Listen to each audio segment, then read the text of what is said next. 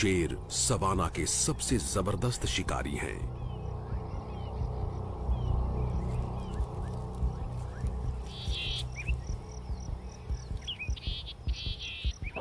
आहट सुनते ही इम्पाला छिपने के लिए भागता है। पर शेर छिपकर हमला करने में एक्सपर्ट है। शेरनी की साथी भी उसकी खुशी में शामिल है। ये मिलीजुली कामयाबी है।